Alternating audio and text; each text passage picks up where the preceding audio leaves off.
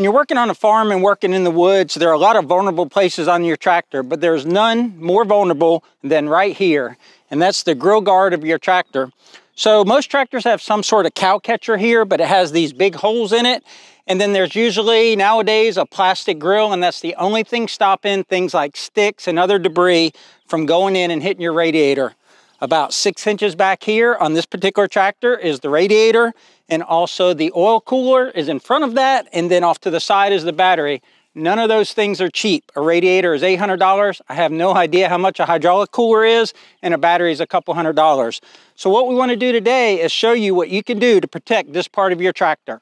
We went online and researched grill guards and we found there are a bunch of manufacturers and fabricators out there that make grill guards. And they attach in different ways and they're different styles, but they all do basically the same thing.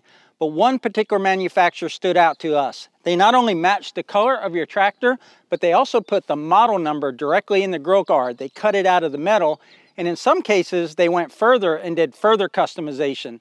So we reached out to the company. The company's name is called Lown Performance, and we reached out to the owner, Matt Lown, and we told him what we were looking for, and he said he'd be glad to help us. And he, in fact, gave us the grill guard to install on our tractor. So that's what we're gonna do today. We're gonna show you how to install a Lown Performance grill guard but please go to Matt's webpage and check out all the things that he has for tractors. He is a master fabricator and he can make all sorts of things for tractors. He has a catalog of items that he already manufactures for tractors, but he also does customized products as well. So let me grab this grill guard and show you what he sent us. So this is the grill guard that Matt designed for us.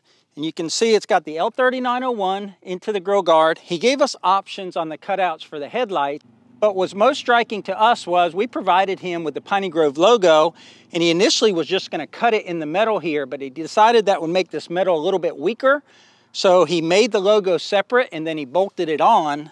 We think that's a nice touch and we thank you, Matt, for doing that. We're gonna install this here today, but the first thing that I noticed when I put it up here initially is that these tabs right here actually go to the outside of the grill guard. And a lot of grill guards out there fasten on the inside.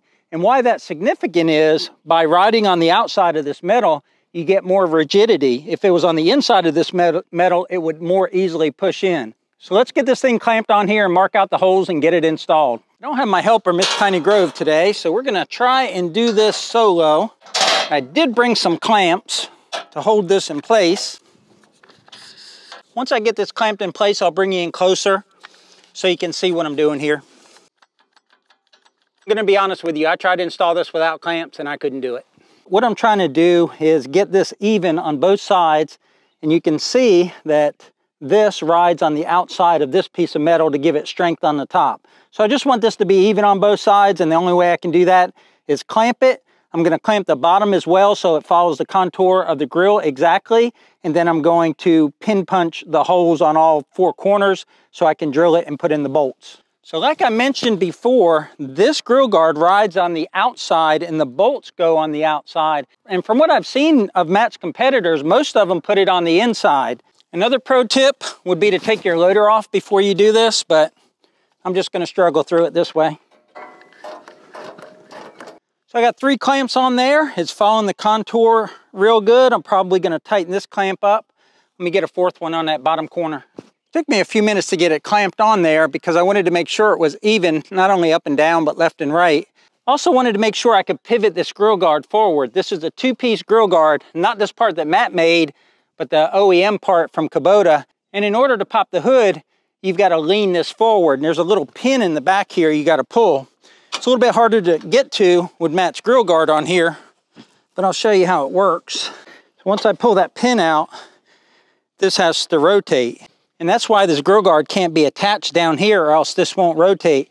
Now Matt also makes a chin guard that turns into a chain bucket, but I bought this tractor used and my loader's a little bent and it comes down a little bit too close to the grill to have his chain bucket put on here, but that would keep anything like in this area from going up and hitting your grill.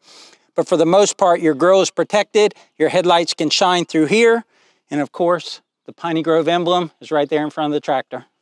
Matt provides the bolts for the install. Because this is clamped in, I want the bolts to be here. So I want the bolt to be there as far as it can be. So I need to punch where I'm gonna drill the hole right there. This would have been so much easier if I'd taken the loader off. Okay, the magic of editing. The loader is removed. I wanted to give Matt a good install video for making this awesome grill guard for us, and that loader was just getting in the way too much. I've already pin punched right there, and now I need to do the two bottom ones. I don't know yet if I'm gonna drill it while it's on the tractor, but I definitely want to pin punch it so the drill bit don't walk. And by doing it while it's on the tractor, I make sure it's exactly where I want the bolt to go. Except for that one. Not even gonna show you that one. I'm gonna try drilling the 5 16 hole with the 5 16 bit. I don't know how tough this steel is on this Kubota tractor. If it's too tough or my drill bit gets too hot, I'll switch over to a 3 16 bit and then step up to the 5 16 Let's try the 5 16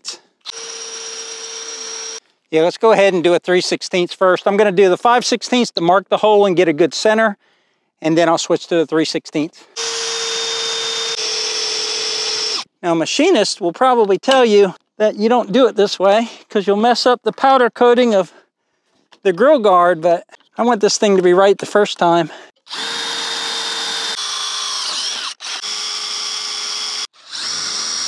That 316 punches right through there quickly. This should go much easier now. Two more to go. All right, all four holes are drilled. I've got four bolts here, two washers, one on each side, plus a jam nut or lock nut. Put the bolt head on the outside so there'll be less things to catch. I'll put it like this. One thing you got to keep in mind is on this top piece of metal, make sure that you can still get the nut on.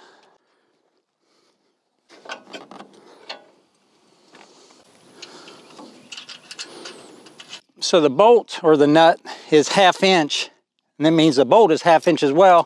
I didn't bring a half inch wrench, so I'm just gonna hold the bolt side with a pair of vice grips. Should work out fine. One thing I didn't catch on camera was one of the bolts wasn't going in good, and you saw me drill 5 16 holes. Well, the guard had slipped a little, the clamp had slipped a little, so rather than forcing the bolt in that hole, I uh, readjusted the clamp till the bolt went in nice and easy. That way you don't strip the threads on the bolt.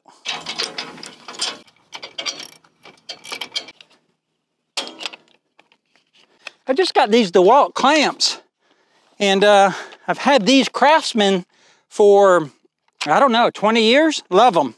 These, don't love them yet. Yeah, these DeWalt ones don't loosen themselves like the Craftsman's do. Probably cost twice as much. Okay guys, she's all hauling. You ready for the grand reveal? Let's put her where she's supposed to be. There is a Lown Performance custom grill guard with the L3901 and the Piney Grove logo. I think it looks pretty good. Leave a comment down below. Love to hear what you guys think about it. I'm gonna put the loader back on and get some pictures of it, but otherwise that's gonna do it for today's video. We sure appreciate you watching. Be sure to check out Lown Performance and all the good things they make for tractors, and they also make a lot of things not for tractors. We'll leave a link to Matt's website below, but until the next one, y'all take care out there, and remember, life's short, tractor hard.